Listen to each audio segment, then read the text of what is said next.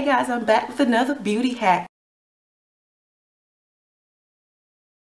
So yeah, I'm back with another beauty hack and um, this one is going to be really, really simple, really inexpensive, really cheap and these are my faves. Anything on a budget I am all for because honey, we all know we can't spend tons of money on these products that aren't good for our skin. So why not use something that's more natural? So this one I ran across is the egg mask and let me tell you, your skin will feel amazing after this um, after this mask. The only products that you will need is some tissue. And listen get the thin cheap tissue. It works the best. It has pretty much not even a full layer. Um, that tissue works the best because the egg actually soaks in so much better. Um, don't try to get that expensive thick tissue forget about it. You're gonna need one egg. Um, I'm gonna use this uh, this is like my facial brush. It's a foundation brush but I use it for like my mask and things like that.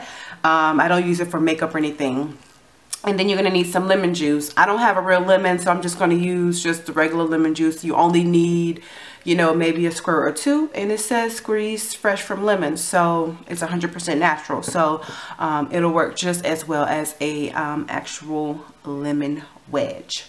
Um, so only thing that you're going to do is you're going to take the egg, crack the egg, and you're going to scoop out the, um, you're going to scoop out the yolk of the egg.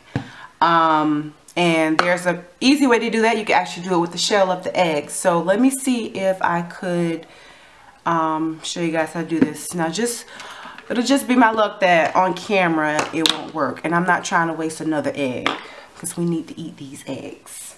All right let me see how I can do this. Um, okay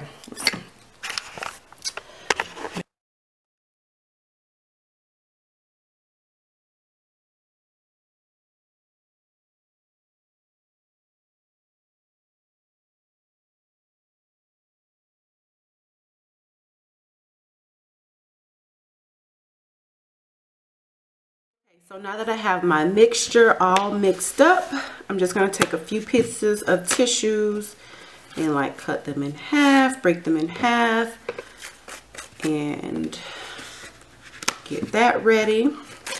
And then I'm just going to be applying the mixture to my face.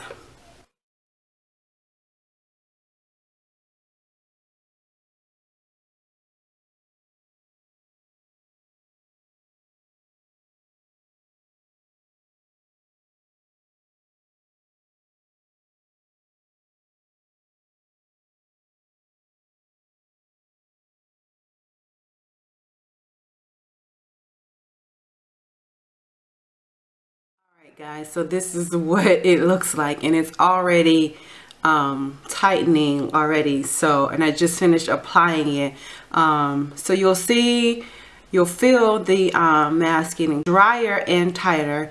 And um, so I'm going to keep it on for about 20 minutes or so but you're going to feel right away how soft your skin is. It just it's just amazing. And then I'm going to use my Josie Maran SPF 47 moisturizer um, and that's what I'm going to do for um, today. So I'm going to go ahead and just let this sit on for about 15 20 minutes do the rest of my things that I got going on and then I'll be back to peel it off with you guys